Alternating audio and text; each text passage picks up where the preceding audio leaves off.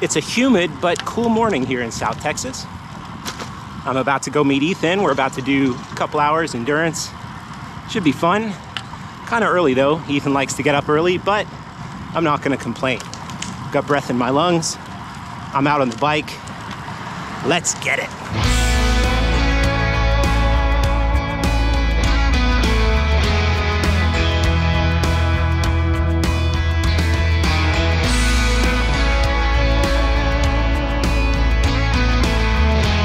So regular viewers of the vlog probably remember this guy. What's up, Ethan? What's going on?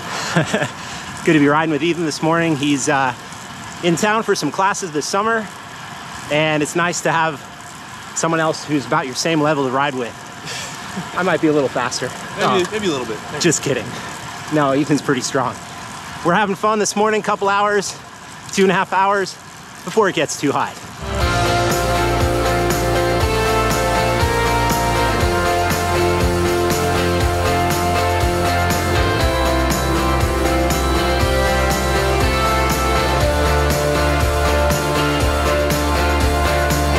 So Ethan, you're thinking about waxing your chain, aren't you? I'm thinking I am. Okay. So Why's that? one of the big reasons is when we went to nationals, we drove all the way from here, College Station, to Albuquerque. Oh, wow. And I spent, know, before we left, I put it on the sand. I got it all clean. I spent probably hour, hour and a half.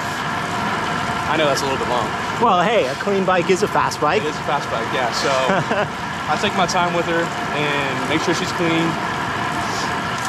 And then we drove there. And when I took it off the back of the truck, there was dust, there was grit, there was dirt. Ah, I spun the crank once. And the amount of crunch I heard, ah, the crunch. Nasty. it was absurd. So Wax the chain, bro. pretty unfortunate. And then Evan and Dylan, their chains were waxed.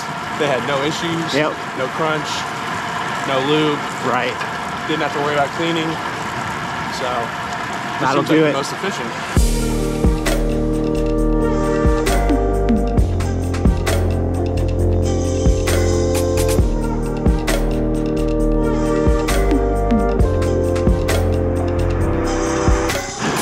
So if you've never waxed your chain before, it's definitely a little bit of a process, but in terms of drivetrain efficiency, in terms of cleanliness, man, second to none. Like, you won't go back to oil-based lubes once you get into waxing your chain.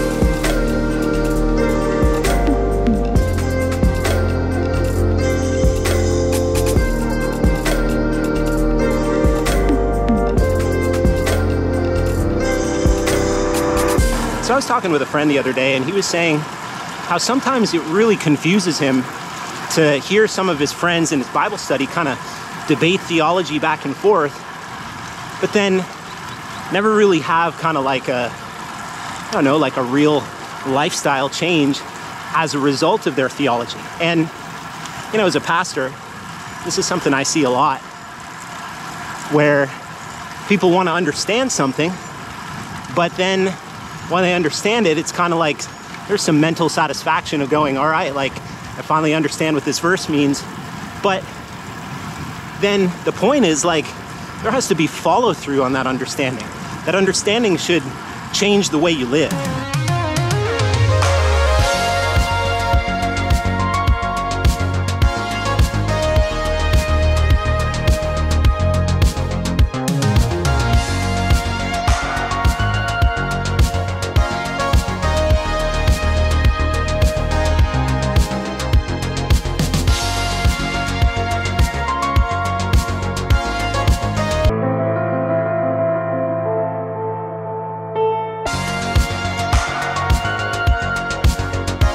So here's my hot take of the day, Ethan. Ready? You don't get eternal life just by believing something. Jesus is not going to go, good job, you believed something in your head. Might be a hot take. Some people think, wait, Josh, you're talking about salvation by works.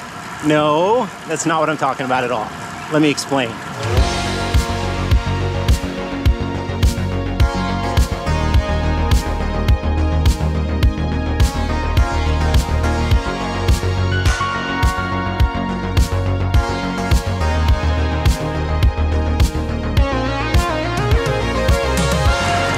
So Jesus never anticipated a lack of response from his disciples. He never just said, Hey, believe I'm the Messiah. In fact, Jesus hadn't even died for their sins yet. And they're going, Oh, he's the Messiah. That's a topic for another video. But he anticipated a response. Just like John the Baptist, when John the Baptist came preaching, he said, Bear fruits in keeping with repentance. Like, don't just say, Oh, cool, God's coming and he's going to do what he said. No, a response was required.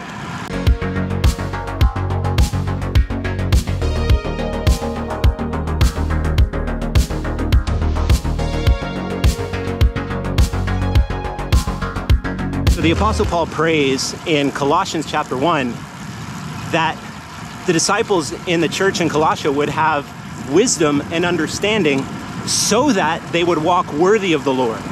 That's the whole point. It's not just so that they would have wisdom and understanding and, you know, understand details for the sake of understanding details. It was so that they could have a walk worthy of the Lord, fully pleasing Him, and that they would bear fruit in every good work and they would increase in the knowledge of God. That's what the whole passage is about. So, the whole point of the details of the story of the Bible, the whole point of understanding who Jesus is and what he's done and where this is going, is so that we would respond. Our lives would look different. Because, as I've said in the past on some of my other videos, the age to come and the people who are a part of the age to come are going to be the people who walk like Jesus in this age.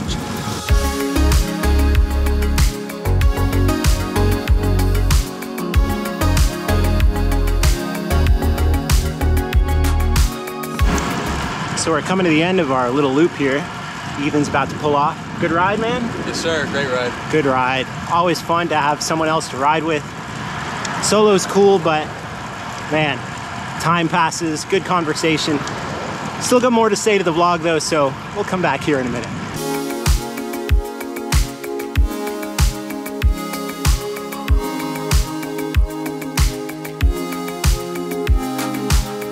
So I like to think of this as three C's, three C words. The first, clarity.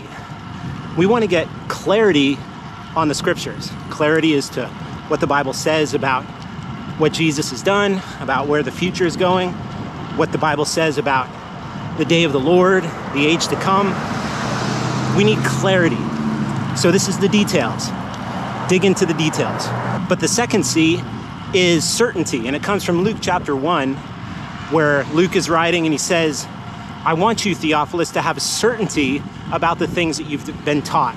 The details lead you to a certainty about what God has promised, about what he's done, and about where this is going. And the final C is commitment. A commitment to obey Jesus, especially when no one's looking, even when it gets difficult to do so.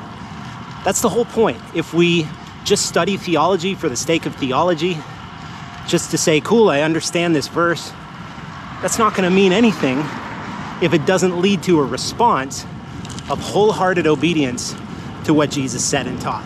So, friends, let's remember Paul's words when he said, I can have knowledge of all of the mysteries, but if I don't have love, I'm nothing. I'm just a noisy drum, a noisy cymbal clanging.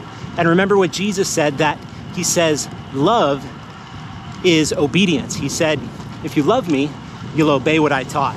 Of course, this isn't complex, but it is hard. It is hard. I mean, I'm saying this, you know, as a guy who helps facilitate a really deep theological podcast, that it all means nothing unless we actually obey Jesus in the end. So, friends, if this was encouraging, leave me a comment down below, like and subscribe, and I'll see you all in the next one.